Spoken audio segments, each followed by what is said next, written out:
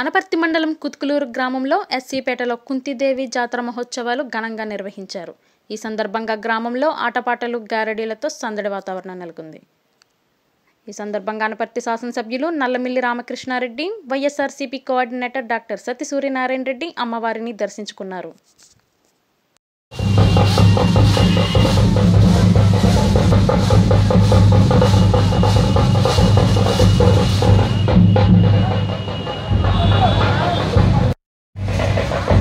Thank you.